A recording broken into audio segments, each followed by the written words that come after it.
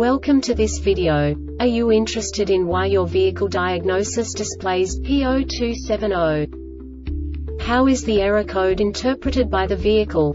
What does P0270 mean, or how to correct this fault? Today we will find answers to these questions together. Let's do this.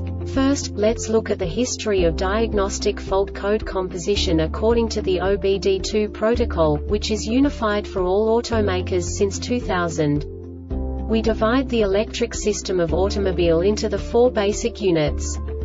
Powertrain, body, chassis, network. This distribution is defined in the first character code. If the second character is expressed as zero, it is a standardized error. In the case of numbers 1, 2, 3 it is a more prestigious expression of the car-specific error. The third character specifies a subset of errors. The distribution shown is valid only for the standardized DTC code. Only the last two characters define the specific fault of the group. Let's not forget that such a division is valid only if the other character code is expressed by the number 0. Our website airbagreset.sk produces useful videos for you. You do not have to go through the OBD2 protocol anymore to know how to troubleshoot any car breakdown. You will find all the diagnostic codes that can be diagnosed in a Buick vehicles. Also many other useful things. The following demonstration will help you look into the world of software for car control units. You unbelievably can move the video a bit further. The error code is split into two bytes consisting of 16 bits.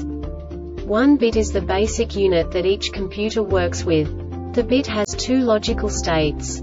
0, low level, 1, high level. By combining the first two bits, the basic character of the error code is expressed. The next two bits again determine the second character. The last beat styles of the first byte define the third character of the code. The second byte is composed of a combination of 8 bits. The first 4 bits determine the fourth character of the code. And the combination of the last 4 bits defines the fifth character. A single byte conceals 256 possible combinations.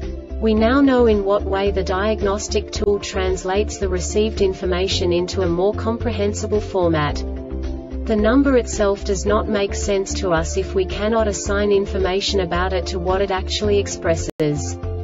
So, what does the diagnostic trouble code P0270 interpret specifically Buick car manufacturers? The basic definition is ECU malfunction EEPROM failure.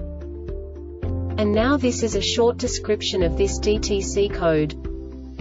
The microprocessor runs a diagnostic program to detect an internal fault when power-up is commanded the only requirements are voltage and ground. This diagnostic error occurs most often in these cases. The control module detects an internal write malfunction The control module detects an internal checksum malfunction. The Airbag Reset website aims to provide information in 52 languages. Thank you for your attention and stay tuned for the next video.